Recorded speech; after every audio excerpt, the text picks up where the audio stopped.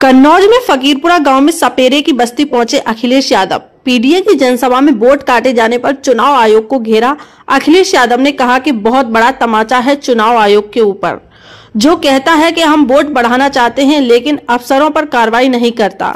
सपेरों की बस्ती में महिलाओं ने तख्ती लेकर आयोग से लगाई गुहार, ज़िंदा होने के बाद भी वोटर लिस्ट से काट दिया गया महिलाओं का नाम। चुनाव आयोग, हम ज़िंदा हैं की तख्ती लेकर अखिलेश यादव की जनसभा में पहुँची महिलाएँ अखिलेश यादव ने भाजपा को भी जमकर घेरा। कहा कि ये मुद्दों से भागने के लिए धार्मिक चीज़ों के पीछे छिपते हैं, भारत को विश्वगुरु बनाने वाले नौजवान को रोज़गार नहीं दे पा रहे। अखिलेश यादव ने पार्टी को जिताने की जनसभा में की अपील। में बड़ी बड़ी जगह। और सोचिए, हमारे गरीबों का वोट काट रही है। जो लोग वोट डाले थे पहले, आज ये वोटर लिस्ट में मार दी गई हैं। और बताओ, ये हमारे बगल में खड़ी। अगर वोटर लिस्ट में देखें तो इनका नाम है ही नहीं वोटर लिस्ट में।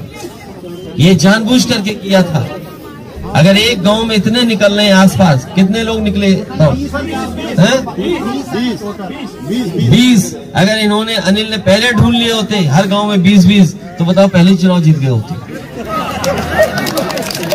हाँ ये सच है। हमें इसी तरह बीजेपी ने हराया।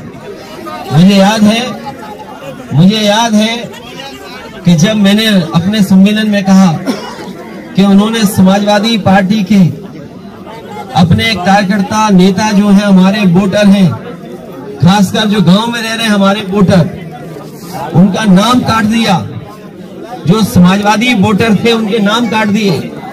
तो इलेक्शन कमीशन ने मुझे नोटिस दिया कि आपने किस आधार पर कह दिया कि हमारे वोट काट दिए? मैंने उन्हें उत्तर प्रदेश के अठारह हज़ार वोट, ऐसे ही अठारह हज़ार वोट एफिडेविट के साथ भिजवाया कि ये लोग ज़िंदा है ऐसे। उत्तर प्रदेश में हमें अठारह हज़ार लोग मिल गए थे। अठारह हज़ार मिल गए थे। इन्हें और जोड़ ले हम दस।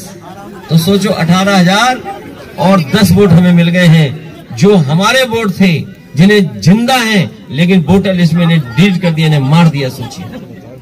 और मैं आपसे कहना चाहता हूँ, आपसे एफिडेविट भी लेंगे। ये जो आरओ होते हैं एसडीएम ये भागते फिरेंगे। ये एसडीएम जो है, वो भागते फिरेंगे क्योंकि आरओ की ज़िम्मेदारी है वोट बढ़ाना, घटाना।